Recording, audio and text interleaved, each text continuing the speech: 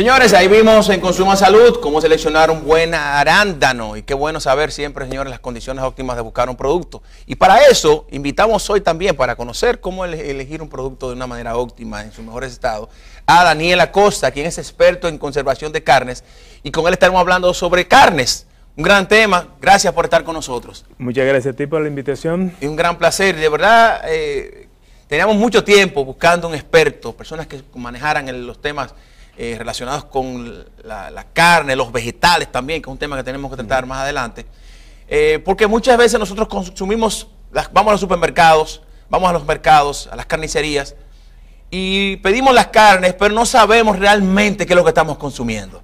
Ni sabemos la calidad de la carne, ni sabemos si está en óptimo estado. Por eso quisimos invitarlos.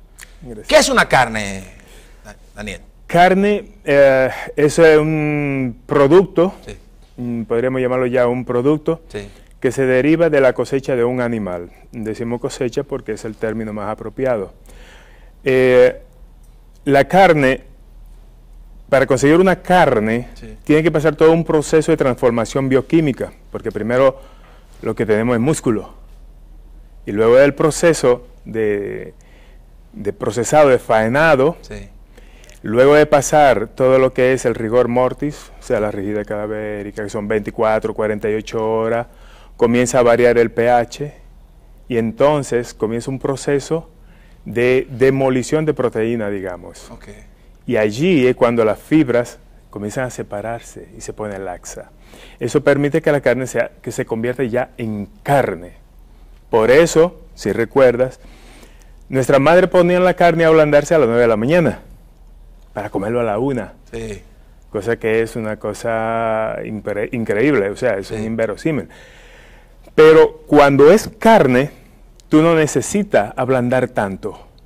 No necesitas tanta, tanta, tanto fuego. Sí. Y eso cuando machucábamos la carne, que yo vea que la estaban con un pilo, eso también no se debería hacer. Eso es dentro de lo que no debería suceder con una carne. Es lo que no debería suceder, pero sucede porque es un proceso de tenderizado. Sí. Por ejemplo, ahorita comentaba el precio de la carne pasada por, eh, del bistec pasado por máquina. Sí. Es el mismo proceso. Es el mismo proceso, sí. Solo sin, la máquina, sin la máquina, sino manual. Sino manual. Eso permitía romper las fibras. Eso permite romper las fibras y por ende se hace mucho más tierna la carne. Necesita menos tiempo de cocción y menos consumo de, de, gas. Okay. En ese caso. Tú puedes, y también se hace mucho más digerible. Sí. Pero de manera mecánica. En cambio, cuando tú tienes una carne que ha pasado un proceso de maduración, basta una cocción de par de minutos la vuelta y vuelta. Por eso la famosa bisteca vuelta y vuelta. O cortes como el chuletón, mm, que lo encuentras, por ejemplo, en Europa, que es la parte del rotí con hueso, que lo pones vuelta y vuelta. Y dentro está crudo. Para nosotros está crudo. Entonces, pero cuando lo comes, puede digerirlo, porque ha pasado todo ese proceso de glicólisis y de proteólisis, o sea, ruptura de lo que son las proteínas, de lo que son eh, eh, las fibras, de manera normal. Natural. Natural, porque la carne tiene sus su, condiciones para conservarse, autoconservación, que es la producción de ácido láctico, y luego el proceso, el proceso bioquímico que se instaura con la eh, modificación de pH.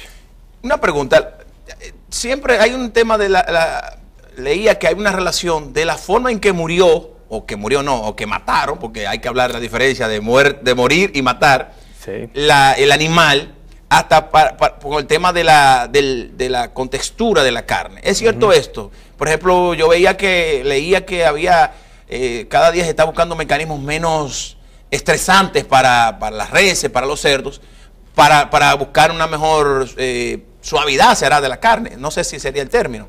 Sí. Sí. Eh, tiene toda razón. Mira, lo que sucede es que cuando un animal llega en condiciones de estrés extremo, cansado, con hambre, eh, apaleado, maltratado, y pasa ese proceso, te lo cobra. ¿Por qué? Porque tecnológicamente la carne ya no es lo mismo, no te sirve prácticamente. Porque se dan dos condiciones y el cerdo, por ejemplo, es uno que, lo manifiesta fuertemente. Uno es una carne que es, se puede convertir en una carne pálida, muy, muy húmeda, muy exudativa, que pierde agua, o una carne muy oscura y firme. Esa en res se ve mucho más. Cuando es muy oscura y muy firme, porque hay una retención eh, de, líquidos. Entonces, la carne no cede líquido. Entonces, está dura, como si estuviera inflamada reteniendo líquido. ¿Y a qué se debió eso? Eso se debe básicamente al consumo de, los principios energéticos, que son los azúcares que vienen en la sangre, que son los que permiten luego la transformación de esos azúcares en ácido láctico, lo cual permite la modificación del pH, que permite entonces, o sea, el pH es el grado de acidez o alcalinidad. Sí.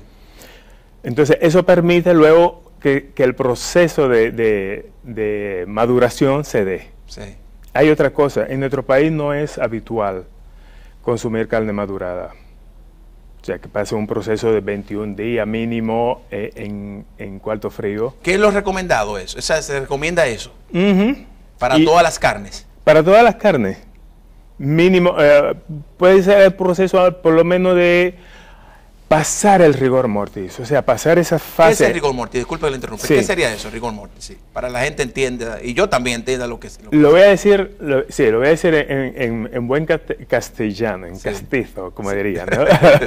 sí. Mira, eh, lo que sucede es que cuando se sacrifica el animal, las fibras se contraen. Ok. Porque hay un consumo de energía. Entonces las fibras hacen la contracción, porque las fibras musculares son actina, miotina y hacen esto, este efecto. Cuando hay un movimiento, hacen esto, produce el movimiento.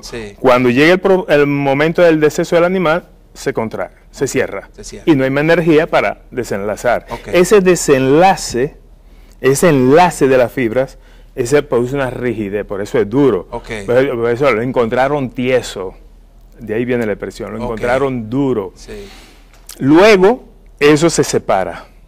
Y ya la carne, entonces ahí ya comienza el proceso de convertirse en carne. ¿Y qué periodo, qué tiempo dura eso para que ese proceso pase de, que se separen esas dos? Dependiendo de la temperatura, la alimentación del animal, el estado fisiológico del animal, puede ser de 24 a 48 horas, comienza, el, comienza a disminuir este proceso. Normalmente nosotros, ¿qué hacíamos? íbamos al mercado y compramos, ¿cuál fue el que, el que trajeron hoy? La carne de hoy carne fresca, pero era todavía músculo, o sea, tú lo veías a veces palpitando todavía el músculo.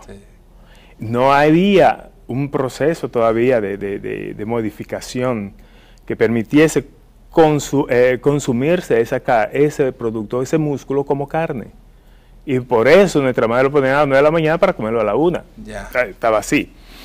Luego de ahí... O sea, que comprar carne fresca no necesariamente sería un beneficio para eh, conseguir calidad de una carne? O, sí, bueno, calidad de una carne. Bueno, todo depende de lo que, lo que consideremos calidad. Es una calidad organoléptica y va a depender de la textura que tú quieres, la digerabilidad, que lo puede digerir sería la carne, sí. Y también el gusto, porque cuando está en estas condiciones, el sabor es fuerte, a carne, te sabe a carne, te huele a carne todavía. Eso es cuando todavía no, no, ha, no se ha, eh, vamos a decir, ¿cómo se llama? De, separado. No ha pasado, no ha pasado ese proceso. Ese proceso. La carne te sabe a carne. El músculo. Sí, que literalmente, o sea, porque es así. yo he probado carne, óyeme, sabe mucho a vaca, uno lo dice, o sabe mucho a. O sea, exacto, exacto, sabe mucho a berrasco a cerdo. A cerdo, exacto, es verdad, eso va a pasar. Y es porque Y la gente, por el cerdo está comiendo, pero no necesariamente, no tiene que saber a. No, el sabor es totalmente diferente. Eh, porque comienzan a cambiar los sabores. Se asientan los sabores. Se desarrollan nuevo, nuevo buquet de sabor, que va a depender también de la alimentación del animal.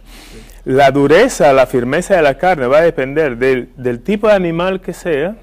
Por ejemplo, tenemos ganado de carne, pero también aquí consumimos mucho ganado de leche a fin de carrera, o sea que ya terminaron su carrera productiva como lácteo, en lácteo, entonces sí van a proceso. ¿Y la carne es diferente? ¿Sabe diferente o tiene...? Sabe diferente por la edad. Ah, por la edad.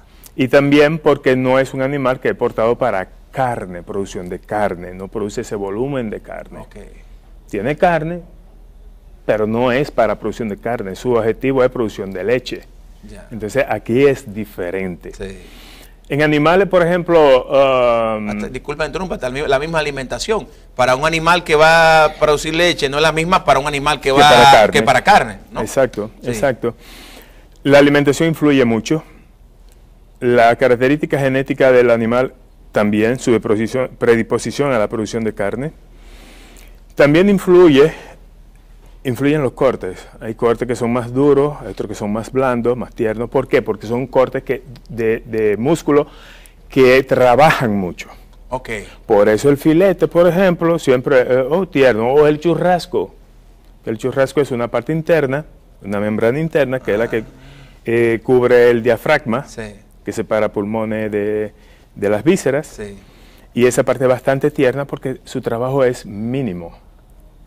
Ah, ya, mira esa parte interesante. O sea, mientras más esfuerzo hace ese músculo, pero la pierna, por eso la pierna de cerdo va a ser más fuerte que un filete de cerdo. De, claro que sí. ¿Verdad que claro que sí. Por la carne, porque trabaja más. Exacto. Mire, qué interesante. Tenemos que hacer una pausa. Eh, cuando, cuando regresemos entonces, deseado, vamos a seguir hablando sobre este tema tan interesante. Quiero que hablemos entonces de conservación, pero también de cuando esa señora que me está viendo, ese hombre que me está viendo, va al supermercado y va a comprar carne, ¿qué debe buscar? ¿Qué debe buscar a la hora de comprar? Señor, interesante este tema. No se vaya, regresamos unos segunditos.